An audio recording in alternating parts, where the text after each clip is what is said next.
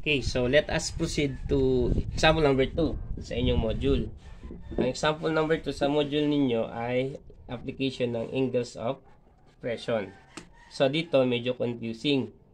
Baka ang right triangle na hinahanap ng problem ay mali ang inyong ma-drawing.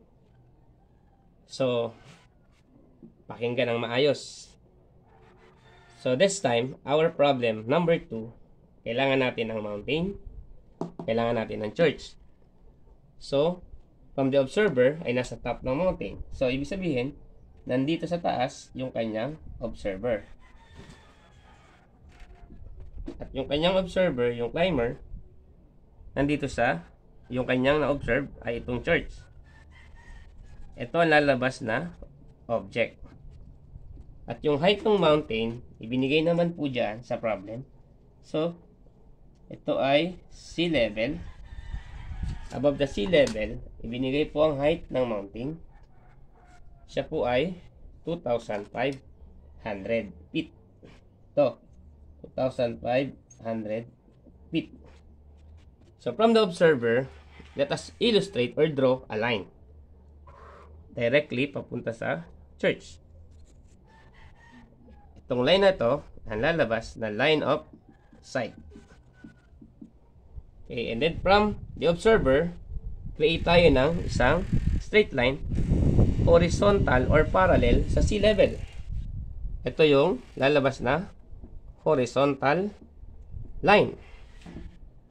And from that illustration, at gagawin sa problem natin, meron tayong makikreate na angle of depression dito.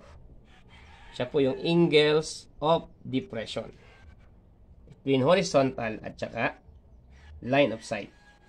Kalagay sa problem, siya po ay 30 degrees.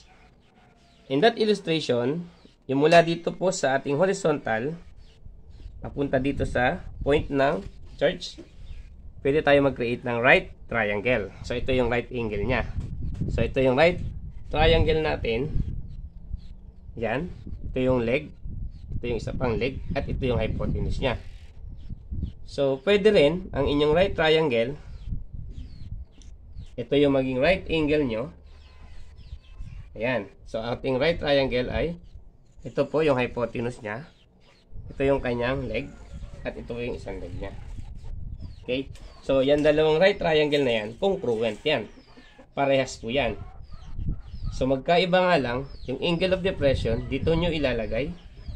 So, pag dito nyo nilagay sa right triangle na to, dito siya lalabas. Yan. So, makikita natin, meron tayong dalawang right triangle na congruent. Now, so, based on our illustration, sino ang tinatanong o ano ang tinatanong? Ang itinatanong dito ay distance between observer at saka yung church. Directly distance between. So, we have this one. So makikita natin, ang itinatanong ay hypotenuse ng isang right triangle. So based on our previous lesson, ang ating right triangle, makikita natin, siya po ay special right triangle na 30, 60, 90.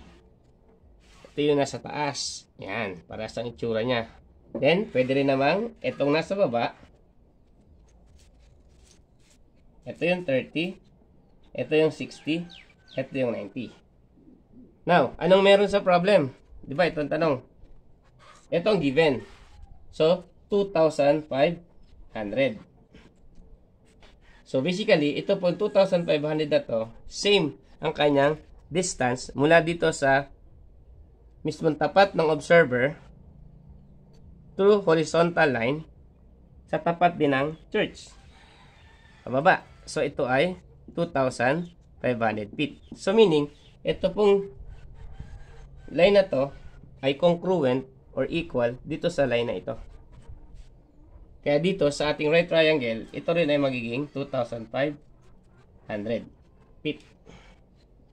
So from our previous lesson, our 30, 60, 90 triangle, ang sabi dyan, the length of this, the length of the hypotenuse is 2 times as long as the length of the shorter leg or the leg opposite to 30 degrees.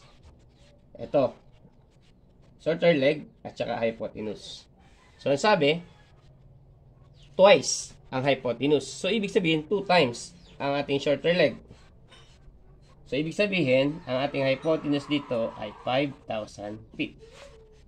Ang hypotenuse natin dito ay 5,000 feet.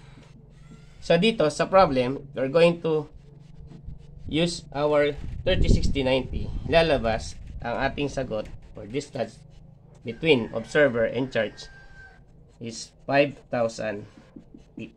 So, this will be your answer. So, our final answer is uh, 5,000 feet.